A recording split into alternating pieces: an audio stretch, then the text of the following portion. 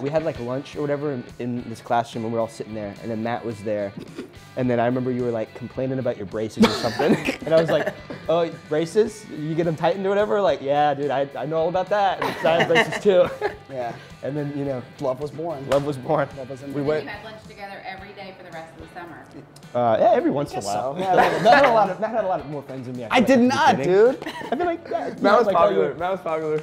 Yeah, yeah. Um, but yeah, and then I remember we started talking about music. Like I, I was in like a band, kind of sorta, and then Matt talked about how he was also in a band, um, and we were talking about band names, and Matt was like, "Dude, we have not gonna lie, like we do have like the coolest band." name." and I was like, "Okay, what's your band name?" He's like, "It's insert name here," and I was like, name. "That is like the coolest band name ever." And I, and I was like, "Dang, I hope like me and this guy can eventually be in a band because like that's really He cool." He comes up with the names. Yeah. Be the name guy. He's an idea man. This is, Didn't even need to hear him play it. yeah, I was like, all right, this guy's got the creativity that I'm looking for.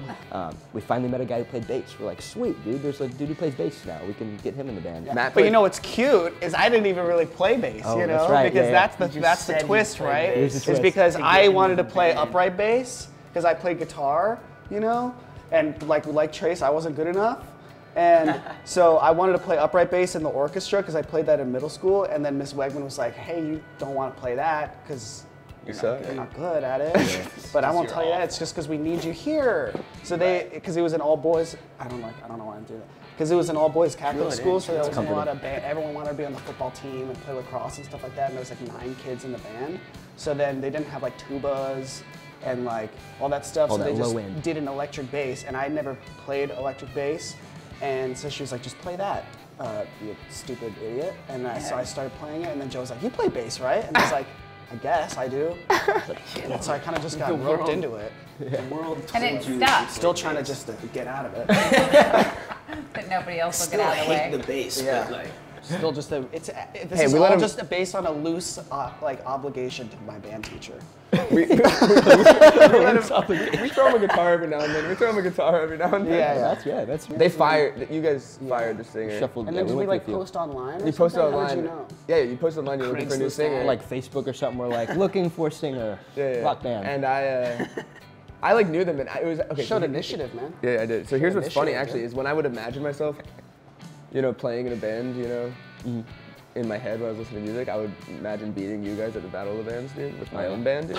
Are you serious? yes, dude. Wow, wow. dude. Okay. Good thing I you didn't tell us that. I know. It's news to me. and then I joined up with them, but um, can't, you can't beat him. I know I reached You out. tried to infiltrate us. You Yeah, tried to go behind yeah. them in the enemy I, lines. I reached out to Matt, and like he was like, "Yeah, dude, let's like do something together." And then he never responded to me for like two Matt. for like two to three weeks, and I was like, "All right, I guess like they found. I guess they found ongoing someone." and then I saw him at a music festival in Tampa, and he was like, "He's like, bro, like you still trying to audition or something?" I was like, "Dude, you never texted me back." Yeah, but what I do is I, I lie, and I go, oh, dude, Connor's not texting me back. And then I, And then and then I gaslight sho- and then I showed up and we played uh, "Can't Stop" was the first song we played together. I I think. always Oh, play yeah. Chili Pepper songs. Yeah. The I feel like first that's- song- yeah. First song I played with you guys With was Snow. Snow Heyo. Yeah. These three Chapter come Trace. from Tampa to Belmont in Nashville as a band without the drummer, looking for a drummer, and I was just like right across the hall. Joe and Matt's moms, both of them come into the room and like, oh, you're a drummer?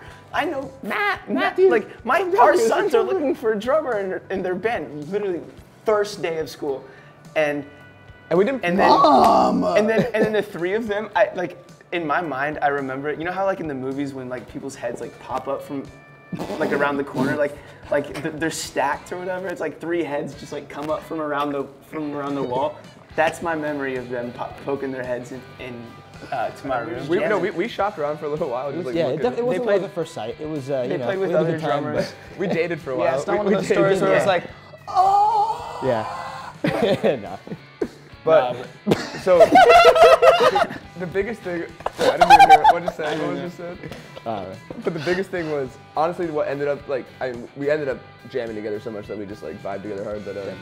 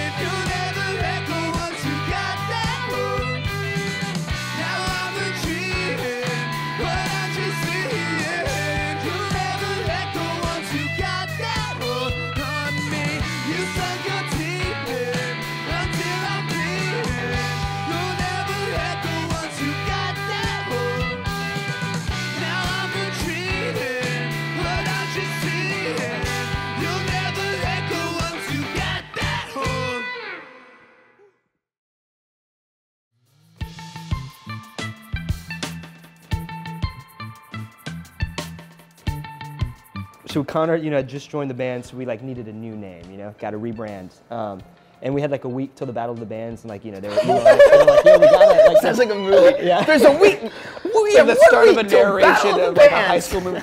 We had a week till the battle of the bands. What were we gonna do? yeah, like, I remember getting the email. They're like, like, they're like, guys, like, we got to make a flyer. Like, you got to give us some type of name. So me and the old drummer um, Matt Sabo were at uh, the Tampa Aquarium, and we were just kind of looking around, and there was a beautiful parrotfish exhibit there, uh, and we were like, oh, that's a super cool fish, and like, especially at the time, we were. I was that douchebag in high school who like wore the puka necklace and stuff, and, like the Sublime shirt. So we were all into like the reggae and like that kind of thing. We're like, oh, this is very fitting. This is cool. I could see it. It'd be a cool logo. It's colorful. So we just kind of went with that and um, just stuck with it. Yeah, I would say I would say the name had less meaning to us at first, but now a lot of meaning. we are all obsessed with parrotfish. They're the Yeah, They're fish. very awesome fish. Me and Trace have actually eat, eaten one Yeah, it's crazy. Yeah, yeah. before. Uh, It's trippy, yeah. yeah, we had to you know take in the the soul the soul of our of our true creator. Yeah. the I like parrotfish. You are what you eat. You know what I mean? Yeah. Love me, love me how I am. Love me just for fun. I only wanna be a fan. Don't you love me? Love me how I am. I don't wanna love, but I'm doing it again. I don't love me, but I still love you. Maybe all this love is really all we ever do. Don't you love me? Love me.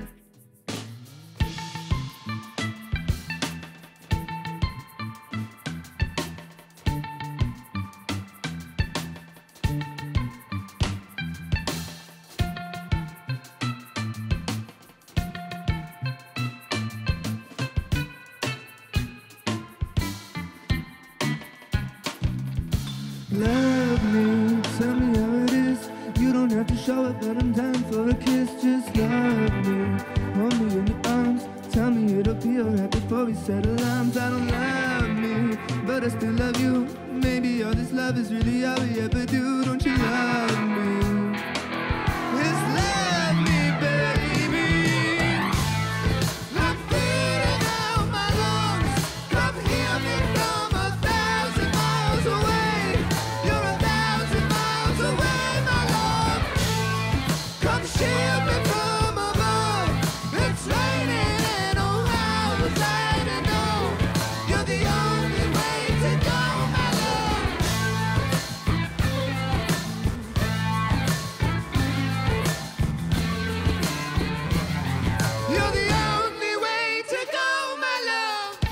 Playing. It was like, you know, three hour set, uh, a bunch of covers, um, just like a bar show. Just like a bar band, yeah. and We played for four hours. yeah. these random girls come in and they're like Connor kept saying, Hey, we're Parrotfish, whatever. We're Parrotfish, here's the next song. And they're like, Parrotfish, like, I think I know that band. And then they come up to us and like, Do you guys play Miami? And we're like, Yeah. Like, you're one of our favorite bands or whatever. And they were like, we thought you were way bigger. we thought you were way bigger than just you let are. them down. Yeah, we had our tip, we had our we're tip playing jar this out. bar show because we're just I would say one of my coolest two fan experiences is seeing people that have done covers of our songs. I was gonna say that on, too. Yeah. on Oh, like that's really Instagram or like Yeah. people like. I, I, had a band like DM us that was like, hey, like we're covering your song for like a show, and they're, they're from like California, and I was like, that's cool to me. Also, us like learn like I'm just thinking about it like when we learn covers and stuff like that. When you're covering another musician's song, there's like this new like relation. It's like it goes way beyond just like listening to it. Like the experience you're having with the music is just so like you're analyzing it and you're learning it, and you just have this like whole new relationship with that artist music, and just like the fact that someone you know would. Ha- like now has that view and like ha- like tried to do that approach like with go our through music the is, like- process of like yeah, learning it. Yeah. it's really cool. You get hit, some people hit us up on Instagram and like will you know just say really nice things, and that does feel like kind of good because like I don't know, I feel like sometimes I'll go into these kind of existential crisis modes and be like, am I doing anything like somewhat meaningful with my life? And that kind of Yeah. makes it feel like a little bit. Yeah. It is. It is Uh. one of those industries where it's like definitely like it doesn't. There's not a lot of concrete like evidence that you're doing good at the beginning of it, and it's hard sometimes to be like, am I like doing this right? But you know, Yeah. those like fans and stuff, and people just like telling you like what like that like you mean a lot to them and stuff like that. That does keep you For want, sure. wanting to like go and just like Yeah. bel believing in yourself. Mm-hmm. I remember right at the start of quarantine, there was this girl who was hitting us on Instagram that like she just liked our stuff a lot, and I was like, I'm so happy that you like our stuff so much, and we had just made a, I guess it was the it was a recording of Yeah, it's um, like a ba- the demo or like a hiding or something, and I just was like, hey, by the way, here's here's a song that we're working on, and I I just wanted to get that out to her uh, before it was released, just because like it, it's cool to have someone be like with you as you're making something, and you kind of want to share it while you're creating it, I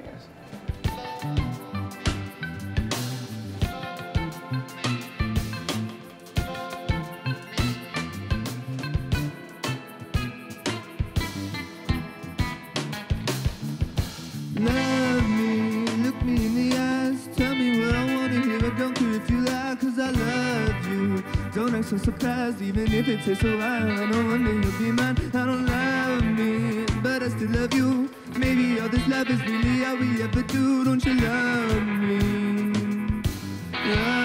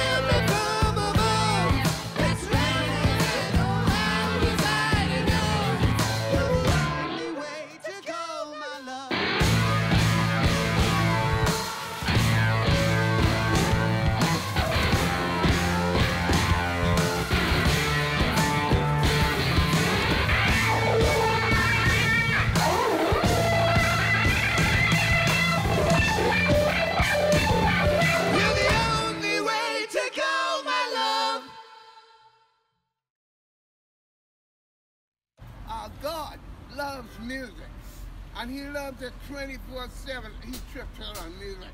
Oh, give me more music. Sing, sing, play that damn harp, the guitar, the timbals. Give me music, and I'm happy. Driving through Miami, but it couldn't be me. Cause I'm looking in the review and there's nothing to see. Oh, please. Just give me a break.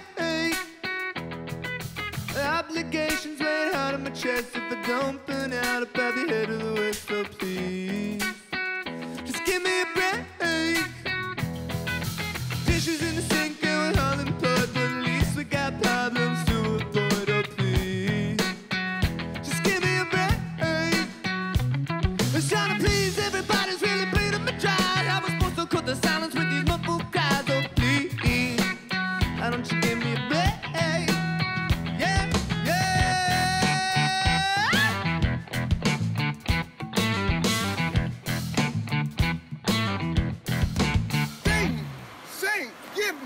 Me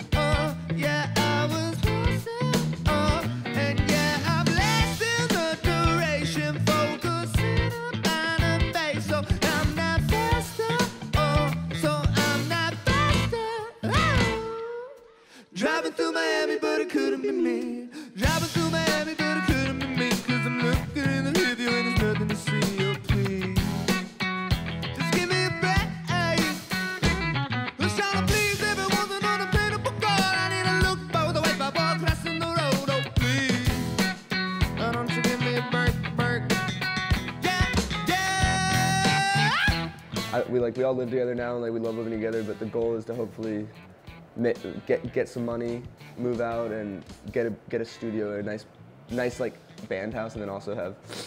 We always talked about having having a plot of land with little tiny houses on it, and then, and then a big studio in the middle. Mm. when, when you can actually do the band as your job and like Yeah. actually get there and like actually spend time together to me there's like no difference because we have been spending so much time together you know what I Yeah. mean? and It's really just not having to. just go not to going, work. going to yeah, work yeah being our own bosses. Um, yeah, I mean, like once we get to where like Parrotfish is financially supporting us, like, I mean, I don't care about like you know having like a Ferrari or like something crazy like that, but like just the financial freedom from that, that's like making it in my opinion. You know what I'm saying? Like having freedom to be like, we can do whatever we want with our music, go anywhere we want, and like work with the people that we want to work with. You know, it's just like just all the like total freedom. It would just be, and we can get that like on a small, smaller scale, and I would be like totally fine with that. You know, So we But it's can- we can- respect. I guess I, it's more like freedom. It would be cool to just like, yeah, I want to be respected. I think yeah, like time, time and freedom, and Time, like the yeah. budget to where like we're working on the song and we throw on like you know, like little like MIDI strings, and it's like oh now we have the budget, we could hire like a string section. Right. So like using that to um, just take the music to the next level. Yeah, and and, do things that we couldn't really do now because we can't afford it.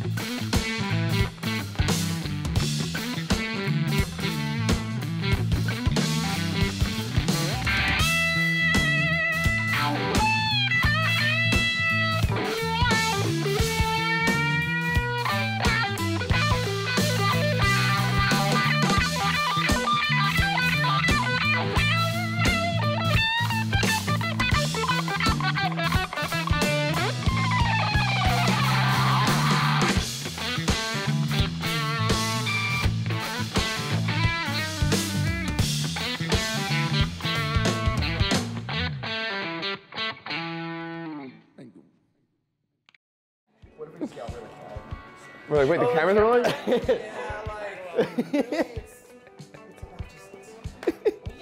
In here. Please don't do that. We love music and we just want music to music. And we're getting wild today. I like it.